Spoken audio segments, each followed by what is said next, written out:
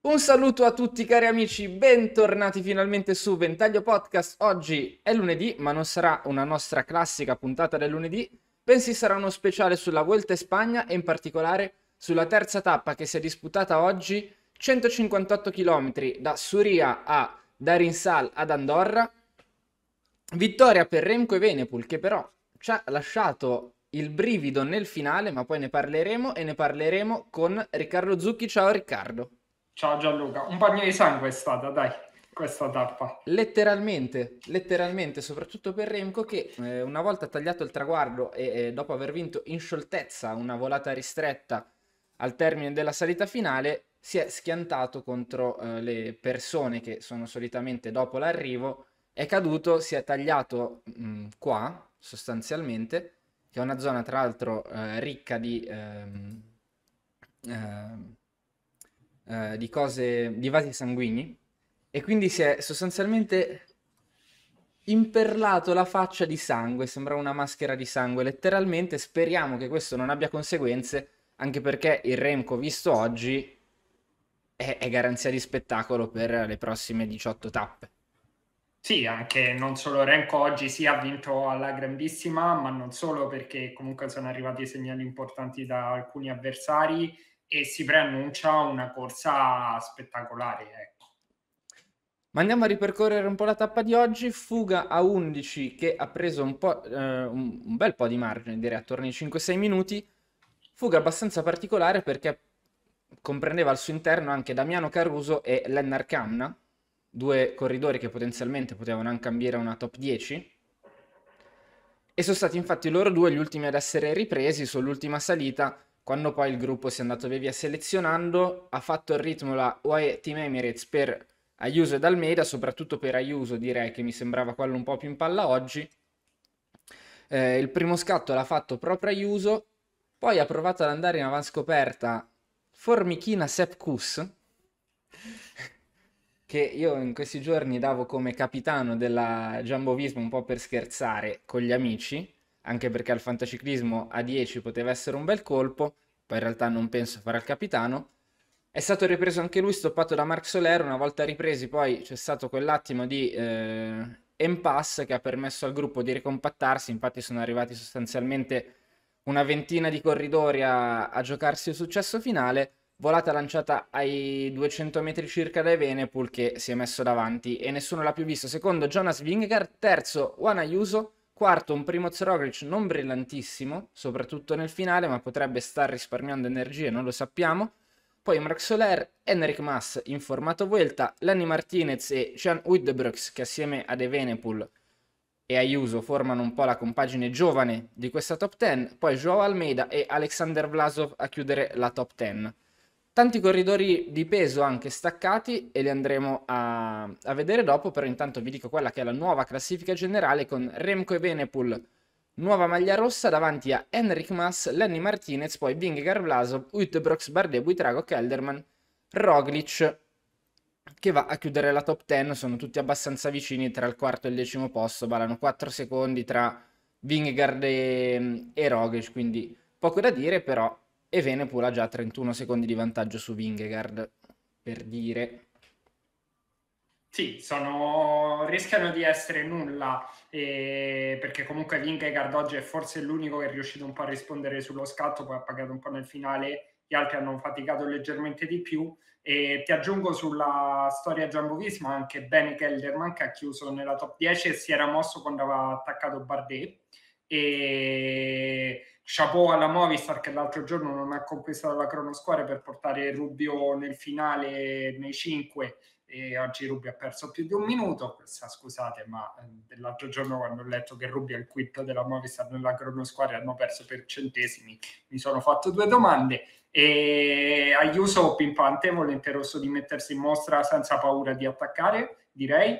E Massa come al solito alla volta rinasce. Mm, curioso di vedere Lenny Martinez e Jurterbrook sulle tre settimane perché sono due dei giovani più interessanti del panorama internazionale, ma intanto Renko piazza una prima stoccata e anche le critiche alla sua squadra eh, non è tanto forte, non è in grado di reggere. Oggi nel finale, prima che iniziassero gli scatti, erano comunque 4-5 corridori. assolutamente sì. Eh, però sono tanti corridori che hanno pagato. Eh, il primo che andrei a citare è Geraint Thomas, che ha perso 47 secondi, scortato sul traguardo da un ottimo Egan Bernal, che è rimasto più a lungo di Thomas nel gruppetto principale. Non dico che Thomas dice addio alle velità di classifica generale di podio, però è sicuramente una bella botta, più che altro ha iniziato a soffrire molto lontano dal traguardo, quando invece gli altri big sembravano in carrozza, perché la sensazione oggi è stata quella di Evenepoel e Vingegaard soprattutto secondo me abbastanza in carrozza, Yuso ha provato a forzare, quindi secondo me si è esposto un po' di più, e però male Thomas, certo, non tutte le ciambelle escono col buco, ma attenzione perché la volta è ancora lunga di spazio per riprendersi e recuperare, eh, ce n'è. Sì, diciamo giornata complessivamente negativa per la Gran Bretagna, perché se andiamo a pensare agli altri big che hanno perso, c'è Dunbar che ha perso tantissimo e tra l'altro Zana è arrivato davanti a lui, quindi segno che forse mh, qualcosa di non stava per niente bene, si è lasciato carta bianca a un corridore che l'altro giorno ha perso terreno nella crono squadra rispetto a lui, male Yuccarti perché comunque ha perso 1,14, è un anno no per Yuccarti ma mh, è un'altra prova negativa, male direi anche Ghita che perde 6 minuti e dimostra che forse le classifiche generali sui grandi giri, oddio credo era l'esordio assoluto in un grande giro ma comunque mh, rivedibile sotto questo punto di vista, però è chiaro il nome che fa più, eh, più eco è sicuramente quello di Geraint Thomas, anche perché comunque Aresman non brillantissimo, ma è arrivato davanti a lui, quindi anche casa Ineos potrebbero ragionare su un'alternativa diversa. Sì, però anche Aresman era veramente tirato tirato a rimanere con i migliori tra gli altri corridori staccati. Bardet 31 secondi. Eh... Eh, ma Bardet comunque ha detto che non puntava alla classifica. Sì, eh. sì, però intanto... Poi quando lo dice fa sempre il grande giro, però... Esatto, staccato anche Michelanda, un minuto e 30, eh, staccato Dunbar, abbiamo già citato, Bookman, eh, Igita, direi che abbiamo detto quasi tutti, anche Max Paul ha preso più o meno 10 minuti, quindi eh, se avevamo dei dubbi su di lui non farà classifica per la gioia di coloro che l'hanno portato al fantaciclismo. Pensa che c'è chi ha portato Onley, dai. Eh... Quindi niente, tante, tante cose che si sono viste oggi, certo era solo un assaggio di, di Vuelta, e quindi aspetteremo poi tap- altre tappe per capire quello che succederà, come ad esempio la sesta fino all'osservatorio astrofisico di Javalambre, che sarà il prossimo arrivo in salita, sesta tappa, quindi giovedì, venerdì? E sesta tappa è eh... giovedì. Giovedì, giovedì. E, e, soprattutto bisognerà capire come sta Remco Evenepoel perché certo una sì. vittoria importante che però nell'economia eh, della corsa potrebbe addirittura essere una tappa negativa per lui ammesso e non concesso che poi domani riparta eh, che non abbia subito commozioni cerebrali o concussion che gli impediscano di, di ripartire perché sarebbe veramente il colmo dei colmi. Sentiremo ancora sì, una da, volta da parlare punto... di, di, paura di Remco a sfidare sì. gli altri dopo averli mazzolati a destra manca. No, da quel punto di vista è, è preoccupante perché lui poi si è rialzato, è, è stata un po' preoccupante la scena, infatti anche io ho pensato a livello commozione cerebrale quando saliva sul podio perché barcollava proprio. Poi mi auguro sia solo comunque per aver perso tanto sangue e comunque la fatica dopo una salita e si concluda con nulla di fatto. Mi ha spaventato quella scena, certo sarebbe la seconda volta, stiamo parlando veramente del nulla, eh? ma sarebbe la seconda volta che vince la tappa, riprende, e conquista la maglia e si deve ritirare. Eh, eh. Speriamo non, non, doverlo prendere in considerazione, però per me rischia di essere negativa per un altro aspetto, soprattutto perché oggi mi è sembrato che in casa Jumbo Visma Vingegaard sia più pimpante, sia, abbia le gambe più sciolte rispetto a Roglic. Invece noi questo... ci aspettavamo un po' il contrario, magari. Esatto. No? Su un arrivo del genere ti aspetti più Roglic. Soprattutto perché Roglic ha improntato la preparazione della seconda parte di stagione sulla Vuelta, mentre invece Vingegaard arrivava un po' più po' più di rincorsa dal Tour de France. Ecco. Sì. sì, sì, sì, sì. Vediamo, è comunque il primo arrivo in salita, magari Roglic ha fatto una preparazione più pesante per arrivare con gambe più migliori nella terza settimana, mentre magari Vingegaard va calando, è la prima tappa. Eh. E come al solito sappiamo qualche corridore che non potrà vincere la Vuelta, ma non sappiamo ancora chi la potrà vincere. Ecco. Sì, ci ho detto abbastanza assurdo quello che è successo a Venepol, adesso sto un attimo riguardando. Eh, solitamente c'è un, un buco, cioè c'è una zona in cui sono preposti per stare i fotografi, i massaggiatori, i fotografi. Poi i massaggiatori sono molto più lontani rispetto al traguardo per dare il tempo ai corridori di rallentare quasi naturalmente. Invece in questo caso c'era proprio un muro di persone che sostanzialmente non, non lasciava spazio per passare e Venepool si è preso un po' il suo tempo per esultare, non è stato sicuramente attento, ma non ti aspetti in una corsa del genere di trovarti davanti un muro di gente e soprattutto con poi la ragazza che poverina è stata colpita che non, non si è spostata neanche troppo velocemente, ecco, mentre si stava creando uno spiraglio per passare, lei è rimasta un po' in mezzo.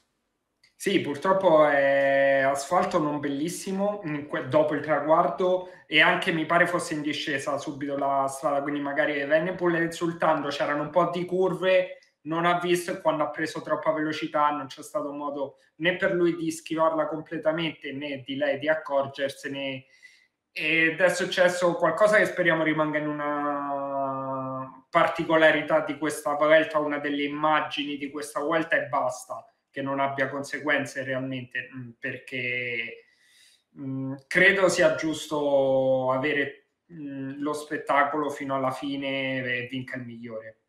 Eh, quello è quello per cui facciamo sempre il tifo. Ogni tanto viene veramente da pensare che non ce la faremo mai perché eh, eh, eh, succede sempre qualcosa. Tra l'altro, Vuelta, che come ben sapete in questi primi giorni è stata abbastanza tartassata dal maltempo, anche oggi c'è stato un po' di vento che ha eh, falcidiato. Eh, non vorrei che pure quello ha influenzato un po' sulla distanza che avevano le persone da, dopo il traguardo e magari c'erano delle barriere che non hanno potuto mettere. Stavo pensando adesso. Vediamo, speriamo realmente che domani già non parliamo più di questo evento. Ecco. Esatto, speriamo che sia solamente un ricordo. Eh simpatico poi da raccontarci esatto. a fine vuelta nel caso in cui tutto per Renko vada bene o anche che non vada bene, come uno dei momenti eh, da blooper del, del, terzo grande giro della stagione e che poi tutti i corridori più attesi possano dare il meglio da qui fino a Madrid. Finiamo, sì. Eh, sì, Madrid, Madrid, Madrid, come al solito. Solo, beh, niente, non faccio polemica. Eh... Dai, almeno adesso si pare che si è deciso, si fa in tot città e non c'è un cambio ognuna dall'altra parte. Ah, sì, diciamo, diciamo che, tra... che questa volta sta facendo rivalutare il giro in questi primi giorni. Anche ecco. ieri credo la scena più comica sia quella della giuria perché non, non, cioè, quell'immagine della giuria a chiedere le foto ai tifosi per sapere chi è passato primo al traguardo volante, cioè ai 9 km è veramente comica e poco professionale. Sì, comunque adesso sto rivedendo le immagini, quelle che trovo, insomma c'era poco spazio comunque per frenare, quindi sicuramente errore di Renko, sicuramente non è il modo in cui mettersi, in cui mettere in sicurezza un arrivo in cui comunque sai che c'è la possibilità che questi arrivino sparati. Perché comunque ha fatto un volo allucinante. Eh, Sto abbastanza. vedendo adesso un'immagine di Eurosport Francia, il volo è terribile. Ehm, mi spaventa questa caduta, ecco. Come detto, speriamo, speriamo in bene. Tra l'altro, prima vittoria con la maglia di campione nazionale, direi. Sì. Quindi, sì. Abbiamo marcato anche questa, insomma, check. Aspettiamo la prima eh. vittoria in maglia di campione del mondo a cronometro, ma potenzialmente penso sia abbastanza dietro l'angolo, mm, ammesso non concesso che riesca a continuare senza eh, ulteriori problemi fisici, dai, dato che Remco sì, diciamo che tra otto giorni potrebbe essere l'occasione perfetta. Ecco, Remco l'abbiamo già perso al giro e io sono ancora un po', mm. co- come dire, alterato da questa cosa. Sì. Speriamo di non prenderlo anche alla Vuelta. No, diciamo anche poi mh, tutte e due credo partiamo con, a parte la stima per Renko e tutto, anche quell'intervista che ha rilasciato ci ha fatto ancora aumentare l'interesse nei confronti di Renko, direi.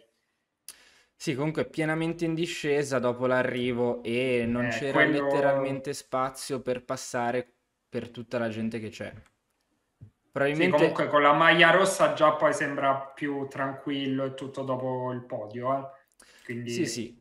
Sicuramente errore di Remco, però metti che arrivano in due con una volata tirata che devono spingere fino all'ultimo a fare il colpo di Reni, questa cosa qua succede 100 volte su 100, 99 sì. volte su 100. Sì, anche perché poi l'asfalto, perché si è visto benissimo dove era Renko poi a terra, era veramente distrutto là, quindi arrivi ok, arrivi dalla salita, uno pensa sta è affaticato, ma si sapeva c'era vento contro, tendenzialmente non si fanno grandi distacchi i corridori che c'erano perché comunque Renko e, Rogli, e Roglic ti aspetti magari uno sprint, arrivi ad alta velocità. Gestita male eh, dall'organizzazione, purtroppo. Eh, va bene, va bene.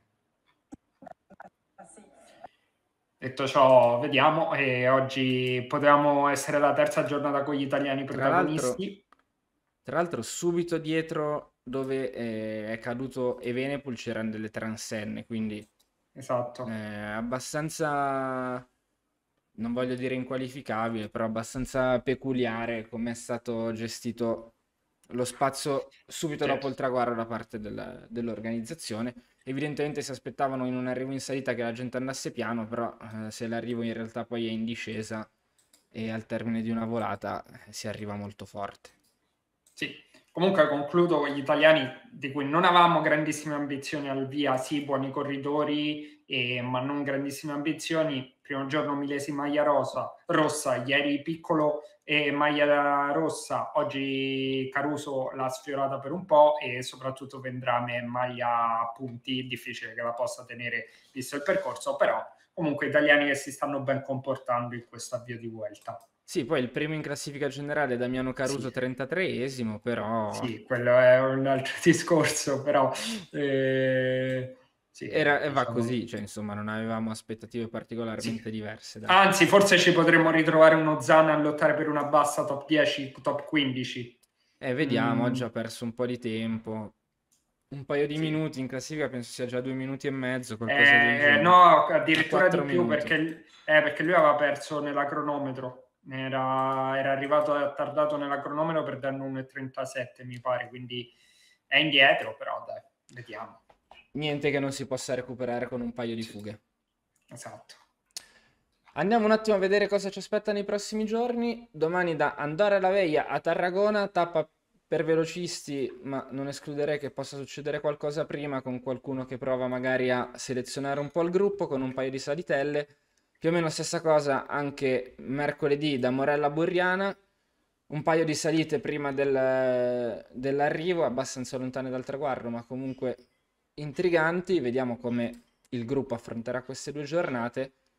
E poi giovedì altro arrivo in salita a precedere un'altra volata venerdì a Olivia e poi via via tutte le altre tappe con l'arrivo di domenica con l'Ado della Cruz de Caravanca, Caravaca che sarà un po' eh, il, punto più, il punto focale di questa prima settimana di Vuelta in Spagna.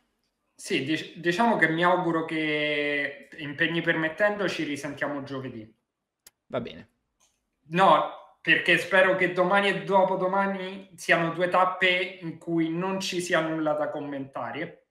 Esatto. Perché l'organizzazione in questi giorni mi ha dato parecchio da cui parlare. Tra l'altro, io ho detto giovedì e io giovedì non ci sono, però va benissimo. Vabbè, speriamo in bene, dai. E... Sì. Ah, visto le sorprese che ci sta regalando questo avvio di vuelta, eh... tutto è possibile. Sì. Va bene, detto questo Riccardo, io ti saluto, ti faccio nuovamente i complimenti anche in pubblico per lo scudetto 2003-24 con il tuo Milan e ci sentiamo prossimamente per parlare di Volta in Spagna. Ciao a tutti, buona serata. Ciao Gianluca.